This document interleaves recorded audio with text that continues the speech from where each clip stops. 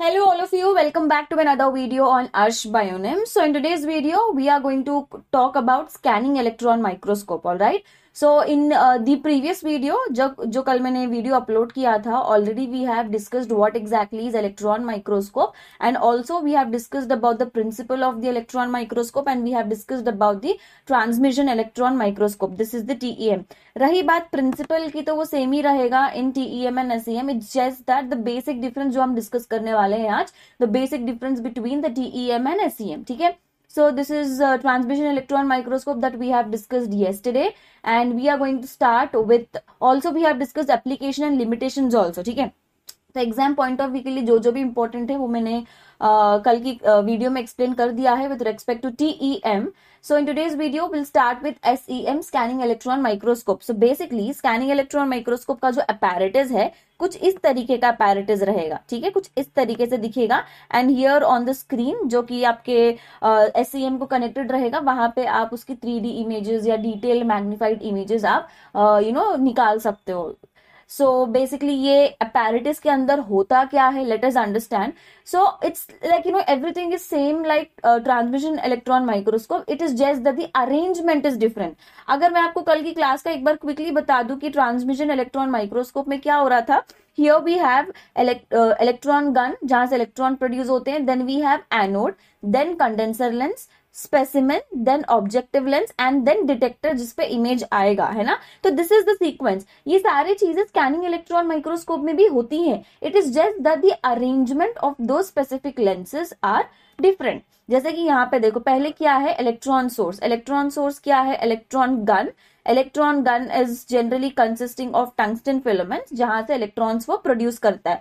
तो जब ये इलेक्ट्रॉन्स प्रोड्यूस होते हैं तो वो स्कैटर हो जाते हैं बिकॉज़ यू नो सारे फैल जाते हैं इलेक्ट्रॉन तो ये सारे इलेक्ट्रॉन को एक बीम में भेजने के लिए basically to send all the electrons in one single beam towards the condenser lens we make use of anode so what is the purpose of anode here so whatever the electrons are being release through the electron gun that electron those electrons are being send towards the condenser lens in one single beam एक you know एक जैसा एक line में उसको भेजा जाता है। Basically not exactly single line but a single beam ठीक है? तो ये कंडेंसर लेंस के पास आ जाते हैं। Now you see condenser lens के बाद में क्या है? स्कैन कॉइल्स ये स्कैनिंग कॉइल स्कैटर्ड इलेक्ट्रॉन को कैप्चर करने में हेल्प करता है। तो whatever the electrons are being scattered the scan coils are you know, absorbing those electrons and they are sending that towards the objective lens. अगर transmission electron microscope की मैं compare transmission electron microscope से अगर मैं compare करूँ तो transmission में क्या था? एनोड था। एनोड के बाद कंडेंसर लेंस था। Then specimen specimen followed by objective lens and then finally detector है ना? ये कुछ सीक्वेंस है। यहाँ पे थोड़ा सा चेंजेस है। एनोड आएगा कंडेंसर लेंस आएगा, फिर स्कैन कॉइल्स आएगा एंड देन ऑब्जेक्टिव लेंस फिर ऑब्जेक्टिव लेंस सैंपल के पास उसको भेजेगा। फिर ये सैंपल से जितने भी इलेक्ट्रॉन्स यहाँ पे स्कैटर होते हैं बेसिकली सैंपल के बाद में थ्रू डिटेक्टर यहाँ से हमें इमेज मिलेगा। है ना? So black and white image is what we get already ये कॉन्सेप्ट के बारे में डिटेल में मैंने कल की वीडियो में आपको समझाया था कि कैसे थिक इमेज कैसा यू नो डार्क इमेज आता है, कैसा लाइट इमेज आता है तो वो सारी चीज़ें सेम ही होती हैं। It is just that the arrangement is different and the extra component that is present here is scan coil ठीक है? सो एक बार मैं लिख देती हूँ कि what is the movement of electrons in scanning electron microscope so here the electron gun we got electron gun तो electron gun से इलेक्ट्रॉन सारे रिलीज़ होते हैं। These electrons are being sent to the condenser they are being sent to the condenser lens which have to cross the anode यहाँ पे मैं anode लिखना भूल गई तो यहाँ पे एनोड रहेगा। तो एनोड क्या करेगा बेटा? ये सारे इलेक्ट्रॉन्स को एक बीम में वो भेजेगा। ठीक है? Then finally to condenser lens अब कंडेंसर लेंस के बाद में यहाँ पे कॉइल रहेगा scan coil which will help in you know taking up the scattered electron as well तो फिर ये स्कैन कॉइल क्या करेगा? ऑब्जेक्टिव लेंस को भेजेगा। फिर ऑब्जेक्टिव लेंस क्या करेगा? इसको ट्रांसफ़र करेगा सैंपल पर।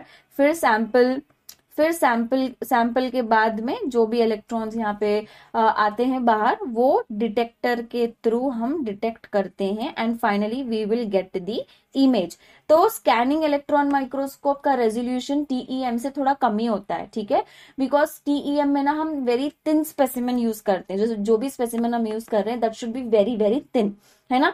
तो इसीलिए जो रेजोल्यूशन पार्ट टीईएम का होता है, वो ज़्यादा होता है व्हेन कंपेयर टू एसईएम ये देखो, यही बैक्टीरिया का सरफेस हम देख सकते हैं विया एसईएम एक एक एग्ज़ाम्पल के तौर में मैं बता रही हूँ, वैसे तो बहुत सारे, ये भी एस भी माइक्रोस्कोपिक लेवल पे जाके हमको बताता है यू नो अटोमिक लेवल पे जाके हमको बताता है, ठीक है? इट इज़ जस्ट दैट ये, इसकी अगर रेजोल्यूशन इतनी है तो हम सेल के अंदर के सारे चीज़ें in detail with highest resolution magnified highest magnification के साथ में टीईएम में देख सकते हैं। सिंपल है।